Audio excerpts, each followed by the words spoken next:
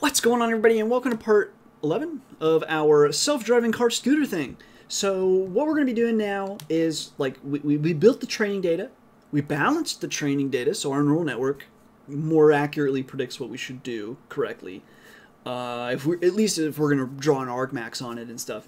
Anyway, we've we've we've built the training data. Now we're ready to actually train. Now there are tons of ways and things that we could do here. Obviously, because it's going to be pixel data, we're going to use a convolutional neural network. We have a lot of thing, a lot of choices that we could make. I'm going to use AlexNet. Now, I'm not going to write out AlexNet. I'm going to. I've already got it here. Um, first of all, you can you can find it if you just Google. Let's see, TF-Learn AlexNet. Here we go. This is probably it. Yes. That's about right.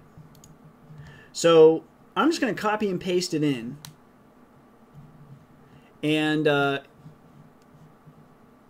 that way we don't have to actually spend a bunch of time writing it. Although I've, I've made slight, some slight changes. Um, but anyways, so what I'm going to do is, uh, so you probably should go to GitHub, not that one. But I'm just saying that's that's where I found it. So I'm going to create a new file. I'm going to call it AlexNet. So it's alexnet.py. We're going to edit that. And I am going to copy, paste, and then I'm going to go ahead and take this. Don't think we need the UTF-8 thing. I'm just going to do this. So, of course, we're not going to be doing this either. Let's just, we'll keep the references. We don't need the flower data set. And we don't need this either. Okay, cool. Hopefully Alex doesn't sue me. Now, um, I'm sure he's a great guy. So, uh, so this is what we're going to be using. Now, for the people or person who's going to be like, copy and paste. Well, like I was saying before, I don't want to have a tutorial on something I've already covered. So if you if you don't know TF-Learn, hey, by all means, learn TF-Learn. I have a tutorial on it. I've also got tutorials on TensorFlow. TF-Learn sits on top of TensorFlow, so it's probably wise to understand TensorFlow and then get into TF-Learn first. Also, um, you can't see it on the screen, but anyway, part of this other part of the series, part of it is a convolutional neural network where you can learn about um, that as well with beautiful pictures. Oh my gosh, these are perfect. And then also how to apply a convolutional neural network in TensorFlow. And then here's TF-Learn. And then also, I'm trying to think if we used, there's even a 3D convolutional neural network. Um, yeah, so if you want to learn more about it, I've got tons of tutorials on that. I'm not going to go over it, and I also don't want to type all this out. So you're welcome. Now, uh, yeah, so basically we're importing the two-dimensional convolutional layers with max pooling, input data, dropout, regression, and all that fun stuff. So then here are our layers. Our input data, width, height, with, oh, okay, we're going to pass that in. So that'll be like, you know, uh, 80, 60. Yeah, so this is slightly changed from the, uh, the other AlexNet. Anyway, quite a few layers here. Um, some of them are, are fairly, like these are pretty small layers, but these, these fully connected layers are pretty large. So if you're having a problem doing any processing, like if you get the whole like, um, I forget what the error looks like, but it's something like couldn't figure out how to what to do with OOM. okay, it ran out of memory.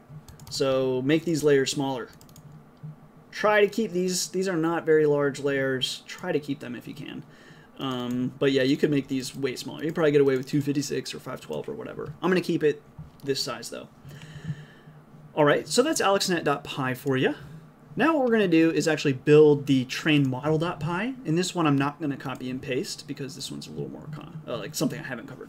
So I'm going to copy and paste. Well, I'm going to copy and paste to make the new file. Uh, train model.py. Edit that.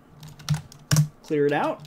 And then what we're going to do is I'm just going to call this one train model.py. And then I'm going to say import numpy as np. From AlexNet, we're going to import AlexNet. Then we're going to set some um, constants, which will be width, which was 80, height was 60, LR for learning rate is 1e negative 3.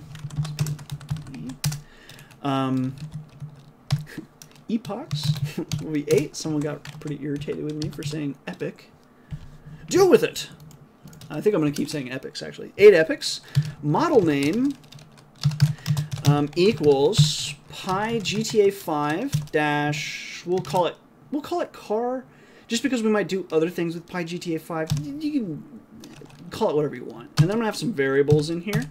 We want to have some variables just because over time we might have epics.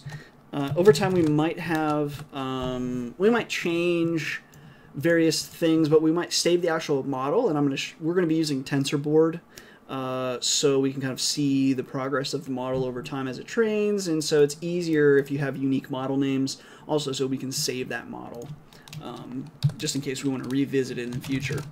Anyway, dot format, we'll just do uh, learning rate, we'll call this AlexNet, and then we'll say epochs. Epochs. Actually, it's a, we'll say AlexNet v2 because it's a slightly modified AlexNet. Now, what we're going to do is model equals AlexNet, which we've imported above, width, height, learning rate. Boom, we've got our model. We want to have model eh, for sure in a separate function at least because to train it's not necessary and but but when you save the model in order to reload a model you need to have a previously defined model and those two models must be identical as far as their like shape. Um, and all a model is when you save it, it just saves the weights of that model. So anyway, that's kind of why we want to separate that out. Anyway, train data equals np.load, and we want to load uh, training data underscore v2.numpy. And then we're going to say train equals train data and we'll say up to, we'll do negative 500. And then test equals train data. Why do I have that space there? Up to, or no, I'm sorry, minus 500 onward. We almost, we almost goofed. Now what we're going to say is we're going to define basically x and y. x is your feature sets, y are your labels, your targets, whatever. So x equals np.array, and we need to reshape these. Um, this will be i zero zeroth for i in train. So it's just list comprehension. It's the zeroth element. This is the the image data. So I, I0 is the image data. The pixels, I1 is the actual output. Um, so the one hot array that says, yeah, go left, straight, or uh, right.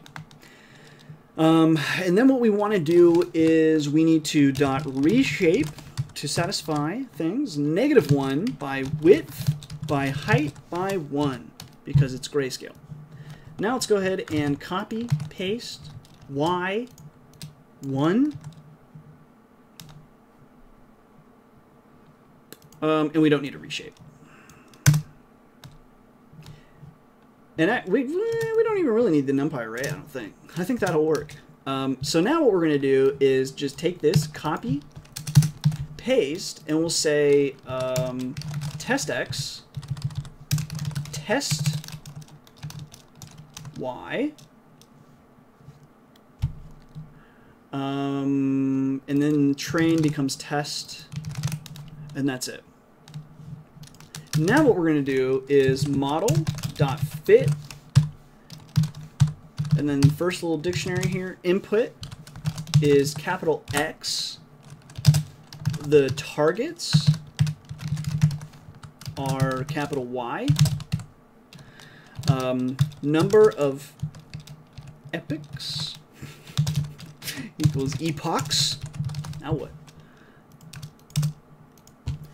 Uh, the validation set will be equal to a new line equal to um, let's do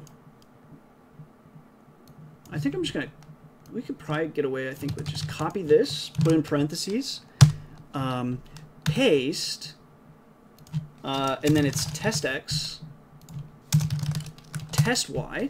So this will kind of this is like out of sample testing basically so we can kind of see how how good or bad we're doing comma, snapshot step, will be 500 show metric equals true run ID model name.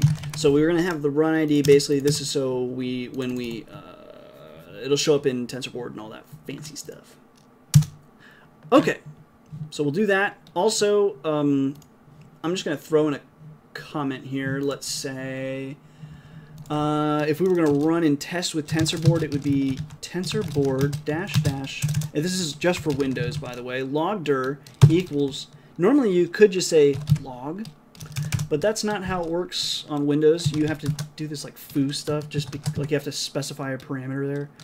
I don't know why, but it's annoying. Users, this is now for me. H, just give the full path. Desktop, uh, Pi GTA 5 dash phase 2 dash videos slash log. And um, I'll have to check. Do we do we properly put? I'm pretty sure that was part of the uh, uh, the AlexNet file, but let me confirm that I put that in AlexNet. So AlexNet model should specify the logdir. I'm just going to confirm though. pull it up for you. Yeah, so right here, it's going to store and log logdir locally, so it should just create a dir here.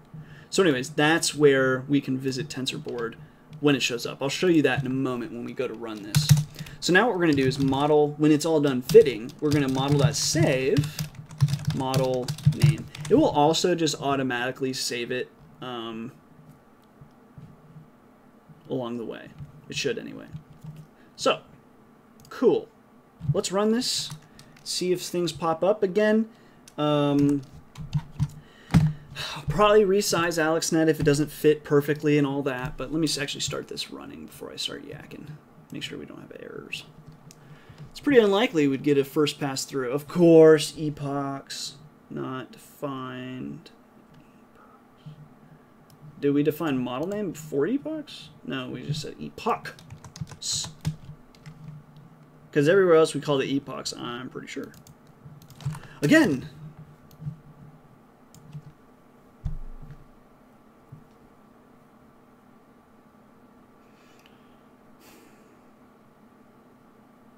Dude, you're killing me. Fit got unexpected?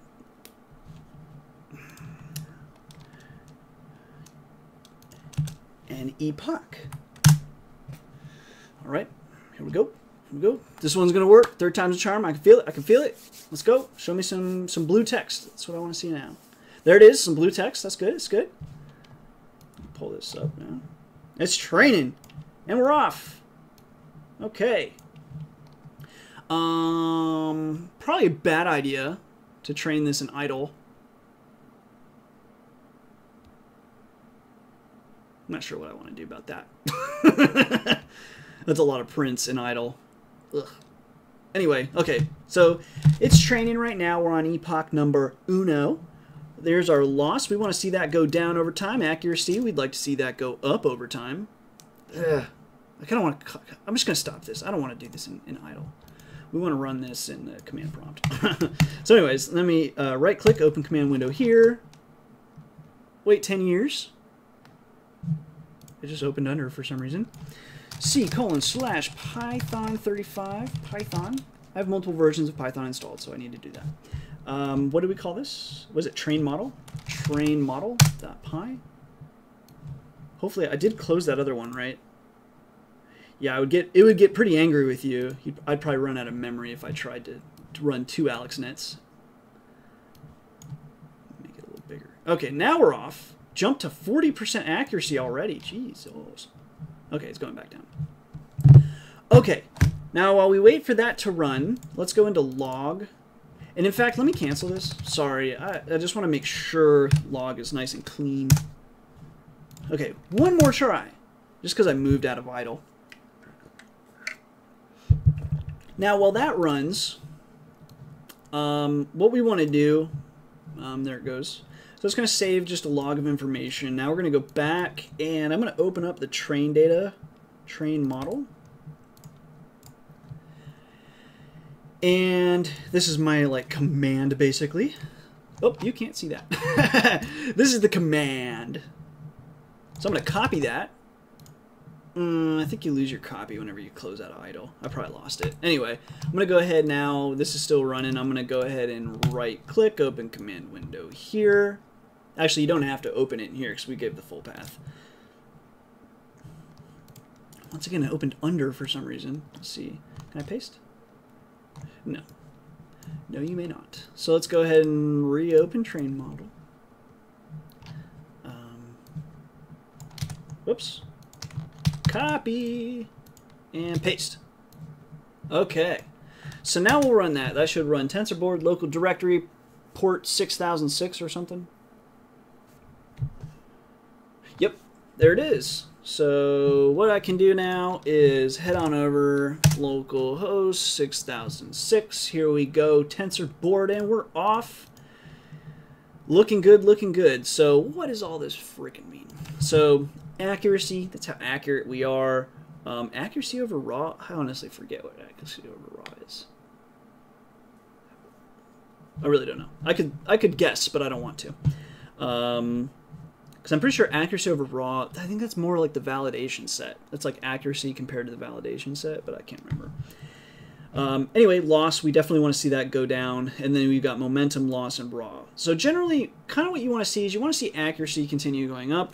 You definitely don't want to see it peak and then come back down. Same thing with loss. You don't want to see it go down and then peak and come back up. As long as it's going down over time, that's a good thing. Um, when you have multiple models in your actual log, you'll find them here. Uh, eventually, we will wind up with multiple models of training um, in there, but right now we just have the one. Um, you can manually refresh by clicking on this. Sure enough, there's an update. Um, or I think it updates itself every like two minutes. Yeah, every 120 seconds it'll update itself. Um, but anyways, you can just kind of refresh this over time and, and, see as things kind of change. Also, this automatically smooths all your lines for you. Um, you can make it super smooth if you want, but you can also see the raw data kind of in the background there. Um, so you could pull it back, and that's how messy it actually is, but it kind of smooths it for you if you want that. Um, the other thing is step is, well, I'll show you these probably later on. I'll show you what, what these are just because I so you might not already be familiar with TensorBoard, but I'll show you these later. Um, so anyway, I would let this run. It's going to run for 8 epochs. That might take a while. Let's see where we are. Still on epic 1. um, anyway, hopefully you're, you're training at least. Hopefully accuracy is slowly going up um, on this set. It's a very small data set, so you should be going through epochs pretty quick. I'm not quite sure why this is going so slow, to be, if I'm being honest. Um, but yeah, so um, go ahead and let this train, and then in the next tutorial, um, we'll kind of talk about where, where, we are now and probably test the model. I might have other models too, um, and I can't decide. I might, I might upload the model because if you're on a CPU, you should be able to run this model, train the model, but it will take forever. Um, but you can also use the model on your CPU, and using the model actually will be I don't know I don't know what kind of frame rate you could get using the model but I may or may not upload these models.